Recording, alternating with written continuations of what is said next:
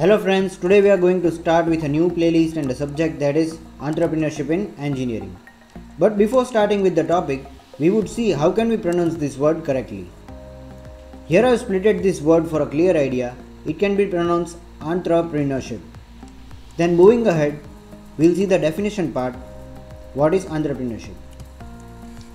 Entrepreneurship is the process of designing, launching and running a new business which is often initially a small business.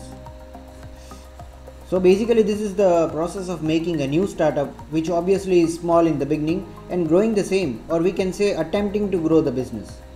This is the basic meaning of the word entrepreneurship. So now we'll see who are entrepreneurs. The people who create this business are called entrepreneurs. So those people who make this startup and are attempting to grow it are called entrepreneurs. Then after getting deeper into this, Entrepreneurship has been described as capacity and willingness to develop, organize, and manage a business venture along with any of its risks to make profit.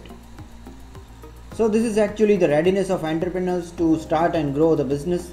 And one more thing which should be noted here is that entrepreneur is someone who is taking risk of finance and their time to earn a handsome amount of profit.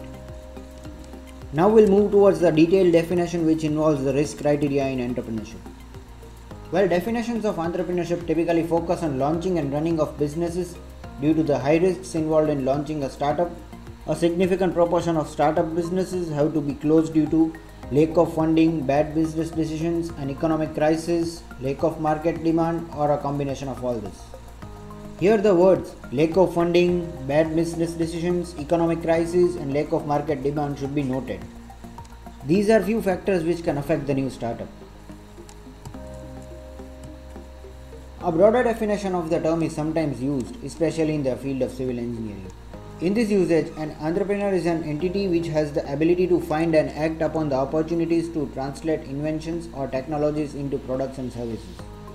So, here we are relating civil engineering with this topic. Civil engineers can use technology, inventions, and can act upon the opportunities to become an entrepreneur.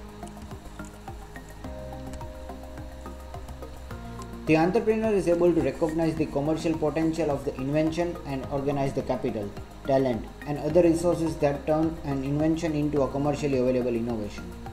This means an entrepreneur is someone who manages all these things like capital, resources, and converts invention to innovation.